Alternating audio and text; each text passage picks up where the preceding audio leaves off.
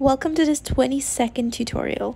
This is one of the easiest things to do and I used to think it was so challenging. Just follow the instructions in the video and the main secret lays in just twirling the hair and letting the outings stay out like that and gelling it which will make it spiky. And we're done.